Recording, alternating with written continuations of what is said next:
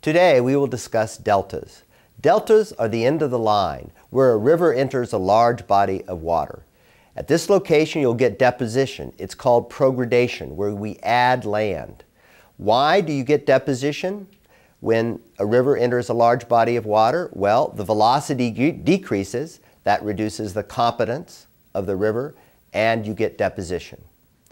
There are three major processes that operate on most marine deltas, and these are fluvial or river processes, which bring the sediment to the delta, waves and tides, which redistribute the sediment once the rivers deliver the material to the delta.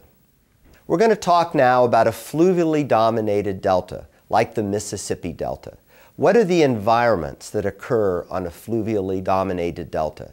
They include the distributary channels, which are basically the river, the distributary mouth bars, or DMBs, that's the place where the river actually enters the ocean and consists mostly of sand.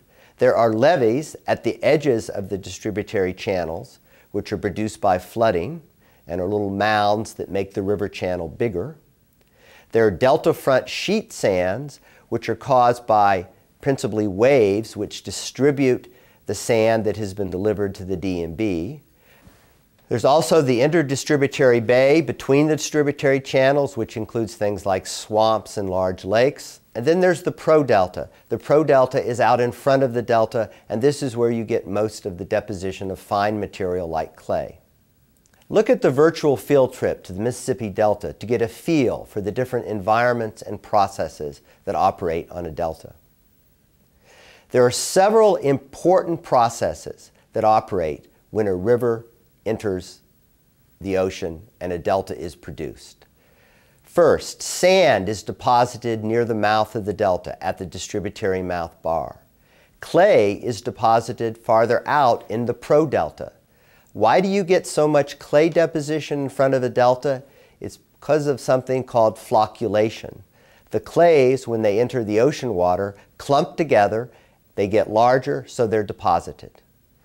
And there's several stages in delta development that we're going to talk about, and these are very important. First, you start off and you get progradation, you add land. And I'm going to use my arm here as the shoreline. And as the delta builds out, here's the ocean, here's the delta, it's building out. You get progradation. Okay, that's the first stage. But what's happening here? You're getting sand deposition on top of what? Mud and shale. And what happens to mud and shale when you put sand on top of it? It sinks. You get compaction.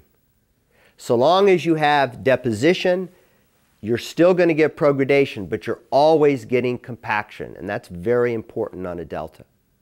Now eventually this delta is going to build out so far into the ocean that what's going to happen?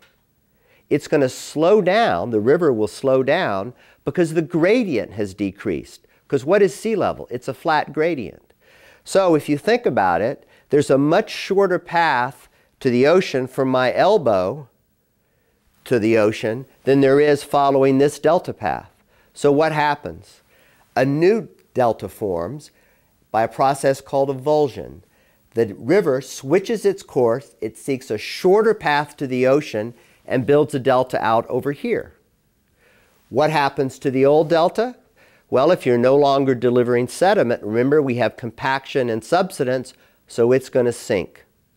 But a new delta builds out over here. The Mississippi River has switched about seven times in the last 5,000 years. And we're going to talk about that in a little bit more detail in the next video.